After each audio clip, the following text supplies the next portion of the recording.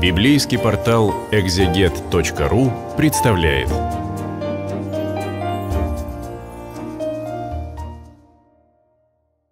Восьмая глава второй Маковейской книги. Э, перевод под редакцией Нины Брагинской читаю для библейского портала «Экзегет».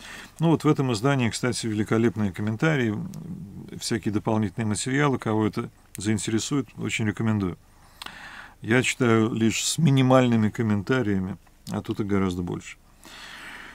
Итак, э, шестая и седьмая главы были посвящены рассказам о мучениках, о тех людях, которые победили э, ценой своей смерти. Причем победили они, не убив врагов, не выиграв сражения, они победили, отказавшись нарушать э, закон Божий, а победили, отдав свою земную жизнь для того, чтобы в вечности встретиться с Богом и со своими любимыми. И, по сути дела, дальнейшая часть второй Маковейской книги – описание того, как эта их победа реализовалась на земном конкретном уровне. Вот э, с ними уже все хорошо, они уже с Богом. Но на земле это продолжается гонение, на земле по-прежнему селевкиды э, и Антиох Эпифан, тогдашний царь, угнетают и очень жестоко угнетают иудеев, они владеют Иерусалимом, в храме творятся всякие мерзости, с этим всем надо разобраться. Но главная победа состоялась в 6 и в 7 главах. Мученики победили, мученики предложили какой-то иной способ жизни и смерти во имя Бога. Ну, а на земле еще многое предстоит сделать. Между тем, Иуда, он же Маковей, те, кто был с ним, а они бежали, когда Иерусалим был захвачен э, селевкидами в пустыню. И те, кто был с ним, тайно проникая в деревню, созывали сородичей и принимали к себе тех, кто остался верен иудейству. Собрали около шести тысяч человек. Ну вот партизанский отряд. Они призывали Господа обратить взор на попираемый всеми народ, жариться над храмом, оскверненным нечестивыми людьми, помиловать разоренный город, который готовы сравнять с землей, услышать кровь, вопиющую к нему, вспомнить о беззаконном истреблении невинных младенцев и о хуле, возведенной на имя его, и обрушить ярость на злодеев. А вот это э, после мучеников, да, нужно освободить Иерусалим и избавить народ от этого гнета. Окруженному ратью Маковею язычники уже не могли оказать сопротивление, поскольку гнев Господа сменился на милость. Появляясь неожиданно, он поджигал города и деревни, занимая удобные места, обращал бегство полчища врагов. Чаще всего пособницей в таких набегах служила ему ночная тьма, и молва его доблести уже зазвучала повсюду. Никаких подробностей. Первая Маковейская книга у нас очень долго и подробно пересказывает все эти бои, а здесь просто рассказ. Ну, партизаны, да, действуют по ночам, занимают деревни, поджигают э, и так далее. Тогда Филипп, селевкидский наместник, видя, как этот человек шаг за шагом идет дальше, ему все чаще способствует удача, написал Птолемею, правителю э, Килисирии, но это наместник уже целой большой провинции Килисирии и Финикии, чтобы тот пришел на помощь царю в его делах. А тот сразу же остановил свой выбор на Никаноре, сыне Патрокла, одного из первых друзей царя и послал его уничтожить весь род иудейский. В подчинение ему дал не меньше 20 тысяч человек из разноплеменного народа, приставив к нему еще и Горгиева, начальника опытного в военных делах. Ну вот экспедиционный карательный корпус, который должен всех уничтожить.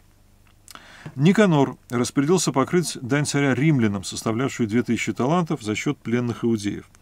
Да, но тут еще э, селевки воюют с римлянами, римляне побеждают и э, принуждают их платить дань, контрибуцию, такую по итогам войны. Поэтому он немедленно послал своих людей в приморские города, призывая покупать рабов иудеев и обещая уступить по 90 пленников за талант, не предвидя кары вседержителя, которая должна была пасть на него вслед за этим. Самый простой способ э, пополнить казну в античности – это захватить кого-нибудь в плен и продать в рабство. Пленники стоят дорого. Иуде донесли о приближении Никанора, и когда он сообщил своим о появлении войска, все, кто трусил и не верил в Божью кару, разбежались кто куда. А другие стали распродавать все, что у них осталось, умоляя при этом Господа избавить их, заочно проданных нечестивым Никанором, пусть не ради их самих, но ради заветов с их отцами и ради его священного и величественного имени, которое они призывали. Смотрите, это не история э, триумфов сплошных. Э, весть о том, что идет регулярное войско, большое. Часть разбегается, из трусости, другая часть распродает все, что осталось, да. Эм, Еще такая маленькая деталь, не раздавать, а распродавать, то есть, ну, хоть напоследок денежек заработать, да, и ждут, что, ну, может, они этими деньгами как-то откупятся, когда там их захватят и поведут продавать. Э, совсем не героическое сопротивление. И э, вот после таких героев-мучеников даже немножко смешно смотреть на это разноплеменное, разношерстное такое, одноплеменное иудеи все, но разношерстное войско, которое состоит из не самых смелых людей. Но за этими людьми будет победа. Маковей же, собрав своих приверженцев, а их было шесть тысяч, стал призывать их не страшиться врагов и не трепетать многочисленных язычников, преступно напавших на них, но храбро сражаться и всегда помня о беззаконном надругательстве над святым местом, о разорении города и издевательствах над ним, об упразднении гражданского общежительства правоцев, то есть одновременно и почитание Бога, и э, их социальная структура, их общественная жизнь были э, поруганы и упразднены. Ибо они, сказал Иуда, уповают на оружие и дерзость, а мы на Бога Вседержителя, который может одним мановением уничтожить тех, кто идет на нас, да и целый мир может уничтожить одним мановением. Рассказал он им о том покровительстве, которое не раз даровано было предкам, о том, как было при Сеннахириме, это нашествие, соответственно, ассирийцев, когда погибли 185 тысяч человек э, при осаде Иерусалима, о сражениях с галатами в Вавилонии, когда 8 тысяч должны были вместе с 4 тысячами македонин выйти на бой. Когда же македоняне смешались, эти 8 тысяч перебили благодаря небесной помощи 120 тысяч и захватили много добычи. В Библии мы ничего не читаем э, об этом эпизоде, но и вообще нигде о нем ничего не сказано. Галаты или кельты э, откуда они взялись в Вавилонии, но они довольно далеко продвигались, и Э, часто именно в набеги ходили. Вот, возможно, в Вавилоне им нужно было отразить нападение этого самого галатского отряда, но ничего точно не знаем. Такими речами он придал им отваги и готовности умереть за закон и отечество, потом поделил войско как бы на четыре отряда, назначив предводителями своих братьев Симона, Иосипа и Ионата и дав каждому в подчинении по полторы тысячи человек. Кроме того, он поставил Элиазара э, и, прочитав вслух священную книгу, дал условный знак – «Божья помощь», а сам стал во главе передового отряда и ударил на Никанора. Э, Элиазар, э, кто у нас это, не очень понятно. Ну, в общем, нам, пожалуй, даже это не очень важно. Тут долго и подробно комментирует, скажем, это Брагинская, но тоже кто-то из маковейского окружения. Давайте вот дадим такое самое общее определение.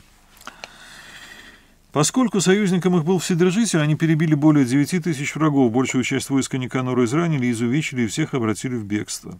Они отобрали деньги у тех, кто явился их покупать. Довольно долго за ними гнались, но прекратили преследование, потому что время вышло. Ну, видимо, просто э, заканчивался день, когда можно было сражаться. Ведь то был день перед субботой, потому они и не стали за ними дальше гнаться. Собрав оружие и сняв с врагов доспехи, они привели субботу, усердно благословляя и восхваляя Господа, спасшего их тот день и положившего начало своей к ним милости. Вот субботу они тоже не воюют. А после субботы они, уделив часть добычи изувеченным, вдовам и сиротам, разделили остальное между собой и близкими. Покончив с этим, они устроили общую молитву и просили милосердного Господа окончательно примириться со своими рабами. Соблюдение закона – это не абстракция. Вот победили врагов накануне субботы, значит, дележ добычи отложили до следующего дня, после субботы. Ну, мы называем его воскресением, тогда, конечно, так не называли, это же еще до воскресения Христа. Затем, схватившись с людьми Тимофея и Бакида, они уничтожили более 20 тысяч из них и легко владели высокими крепостями. Обильную добычу разделили поровну, половину себе, половину изувеченным сиротам и вдовам, а также старикам. А второй раз подчеркивается, да, что это не просто погоня за добычей. Вот эм, все эти Минила и Сон, первосвященники так называемые, которые были до того, и главная задача себе пограбить и от власти получить привилегии и полномочия. А э, эти люди соблюдают закон и заботятся о, тех, кто изувечен в битве, для, о тех, кому некого отправить на битву, чтобы набрать себе там, э, ведь на войне очень часто богатая добыча, э, сироты и вдовы тоже получают свою долю добычи, хотя, конечно, никак не участвуют в сражении. Собрав оружие, они тщательно сложили все в надежных местах, а остальную добычу доставили в Иерусалим. Уничтожили они и Тимофеева Филарха, гнуснейшего человека, причинившего иудеям немало горя. Ну, э, это, соответственно, командир какого-то отряда, видимо, кавалерии. А когда праздновали на родине победу, они сожгли спаливших священные ворота. Вот э, какие-то ворота, которые сожгли в Иерусалиме, и э, люди, которые лично в этом ответственны, тоже сожжены. Вот довольно жестоко они карают отступников, а также Калисфена, укрывшегося в какой-то хижине, так что он сполна поплатился за нечестивость. Э, некий Калисфен, ничего не знаем, кто это такой. А треклятый Никанор, э, э, как раз про него знаем, это полководец Селевкидов, глава экспедиционного корпуса, который привел тысячу торговцев покупать иудеев, с Господней помощью был унижен теми, кого считал ничтожными. Сбросив пышную одежду и в одиночестве, словно беглый раб, пробрался он через внутреннюю область Антиохии, больше всех преуспев в разгроме своего войска. То есть разгром настолько полный, что полководец бежит, притворившись каким-то простым странником. И вот тот, кто взялся заплатить римлянам дань от продажи захваченных в плен в Иерусалиме, объявил, что у иудеев есть заступника, поэтому иудеи неуязвимы, ибо они следуют законам, им установленным. Вот э, тоже очень важный момент. Это же военная победа, да? Все хорошо. Э, иудеи отбились от нападения селевкидов под руководством Никанора. Но на самом деле это тоже э, некая проповедь их бывший враг признает, что Господь на стороне иудеев. Это важнее, чем даже то, что их избавили от смерти, избавили от э, рабства, от всего остального. И эта война, она война Господня, да, что очень важно, потому что главная ее цель не достижение независимости, там, оборона Отечества, хотя это все очень достойные цели, да, а главная цель — это проповедь Бога, который помогает своему народу, который действует в этом мире.